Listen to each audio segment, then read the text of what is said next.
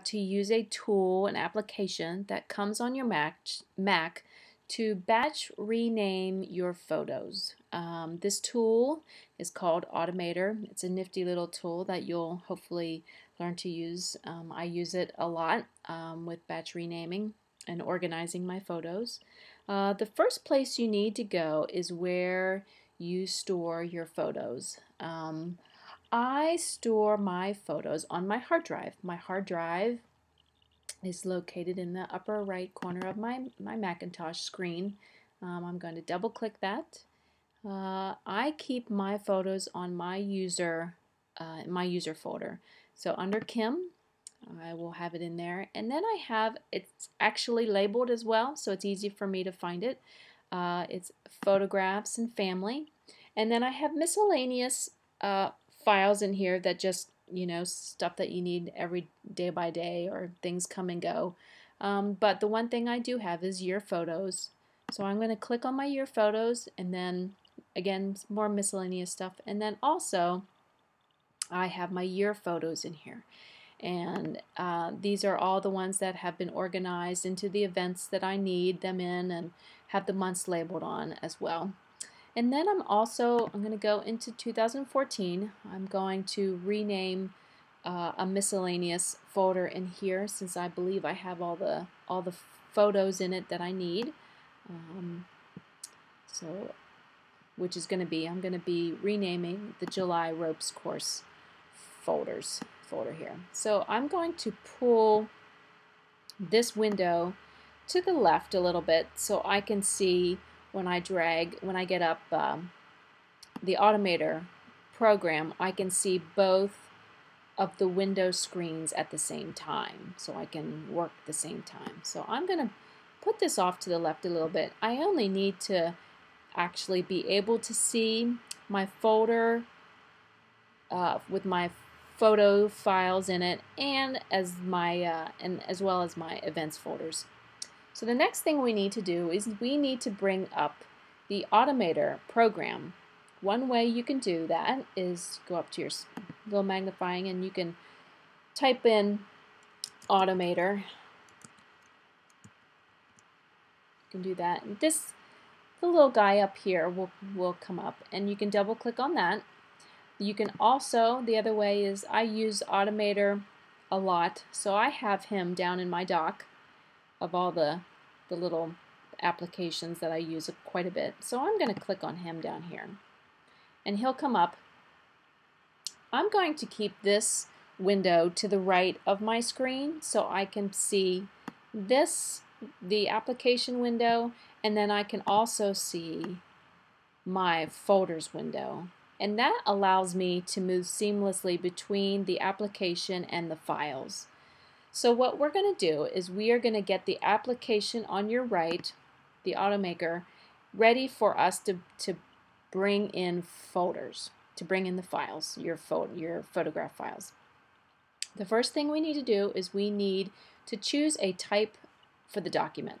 We're going to be working with workflow and so what we're we do this little guy is highlighted so what we'll go down is, is hit choose and that gets us ready to click and choose variables and actions for this program. And again, we're gonna we're working with files and folders. So on the left column, we're gonna go down just a bit from the top and we're gonna select that. And then the middle folder here with all the actions and variables changes just a, a smidge, but not too much. And what we want to do is we're going to select a few of these items in here to help us change the batch, to help us change and do batch naming. The first one, we are going to get get specified get specified finder items. We're going to click on this and we're going to drag it into the into the box. This this area is the action box where all all the stuff, all the the workflow stuff is going to happen and you choose what you want to do in this big box. So we have get specified finder items and then the other thing that we need to do is we are going to go down here more toward the bottom and it says rename finder, finder items. We're going to click on that and we're going to drag that in, in as well. So then uh, this at the get specified finder items, this is where our our files are going to go. We're, we will eventually be dragging our our files into this fold into this uh, box. But first of all, we need to get uh, the refinder names box uh, ready for it. So what we will do, we're going to click on the add date or time, the drop down menu there. And we're going to go down to make sequential. And in here it's the add number two. Not we're going to not do an existing name anymore. We are going to create a new name for these files uh, to make to to um, make it consistent with the event that's in the event folder. Um, we're going to place number after the name and it's going to start with a 1 and that will be sequential from there and I'm going to separate it by a dash. If you drop down you can do period, space, underscore. I choose to do a dash. So we're going to do this. So now we are ready and we need to bring in our file our files of the photos into the into the top box. So how we do that is going to go back to the left side of your screen where your photo files are. And here I have them up here. I'm going to go down to the July Ropes course. I'm going to select this. And I'm going to get this ready to be, uh, make it consistent with the top part here where it says 2014 July and, and the event. So what I need to do is I need to change this this name just a smidge. I'm going to make it 2014 dash July and dash ropes course. I'm going to also add Nick to that. You can also do 2014 dash July dash 07 or 07 dash July uh, and it will that will put your uh, folder in more sequential order. Some people prefer that. I, this doesn't bother me. I'm just happy I'm getting them organized. Hmm? Uh, so what I need to do is well, I need to find it up here. So I'm going to click on the events folder again. And so this brings up my files, my, my, my photo files. And there's a couple ways you can select your files. You can do a Command A and that will automatically, it's a little shortcut, and that will automatically select all your files. The other way you can do it is if you click on your mouse and then drag your cursor over top of it, that will click and hold down. That will also select your files as well. So once you get all the files selected that you want, and also another good point to this is we want to only batch rename your A and B photos. Uh, so hopefully you have gone through and deleted all your unnecessary photos, the blurred uh, photos, the duplicates, um, and the ones that just uh, didn't come out too well. You want to get them out of there so you don't have to worry about finding them again and, or, and batch renaming them.